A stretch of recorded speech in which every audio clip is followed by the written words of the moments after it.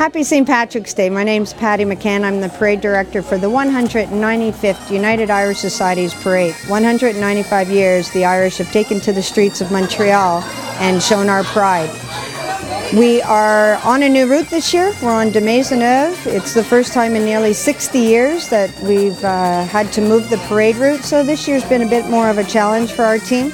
Section A is pretty well all the Irish societies of Montreal in the parade. And then from there we have really wonderful bands that come in.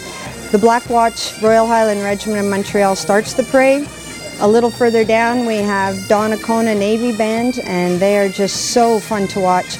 Then along comes the Drumline des Carabins which is from University of Montreal. They're at all their football games. And we also have one of my favorites is Martin Albino and the uh, steel drums, and they're the Caribbean group. And if you've ever heard Oh Danny Boy on steel drums, you will not be disappointed.